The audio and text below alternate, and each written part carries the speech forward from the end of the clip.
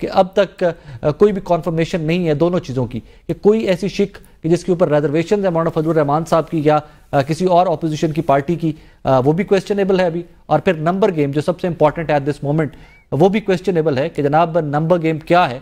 क्या हुकूमती पत्ते मुकम्मल हैं? वो अपने सीने से लगा के पत्ते बैठे हुए लेकिन जब मैं आज़म नजीर तार साहब की स्टेटमेंट जो अब से कुछ देर पहले आई है कि मुसवदा मेरे तक पहुँच चुका हुआ है, इस तरह के हालातों वाकत देखते हैं तो लगता यह है कि अभी चीज़ें एम्बिग्विटी का शिकार है, अभी तजब्जुब का शिकार है, हुकूमत खुद से तजब्जुब का शिकार है, वरना किसी ना किसी एक सोर्स से, कहीं ना कहीं से एक आधी खबर ज़रूर निकल आती कि मुसवदा है क्या, उसमें शिकें कौन सी ऐसी हैं। हमारे कुछ सहाफ़ी, हमारे कुछ दोस्त ये भी क्लेम कर रहे हैं कि कुछ शिकें ऐसी हैं कि जो मीडिया पे आई ही नहीं है अभी तक, जो बहुत ही स्ट्रिक्टली ऑफ़ द रिकॉर्ड है स्ट्रिक्टली ऑफ़ द रिकॉर्ड है। तो शायद उन्हीं में से कोई ऐसी शिकें हों कि जिनकी रिजर्वेशन या जिनके ऊपर एतराज़ात जे यू आई एफ़ और मौलाना फजल रहमान साहब को हैं।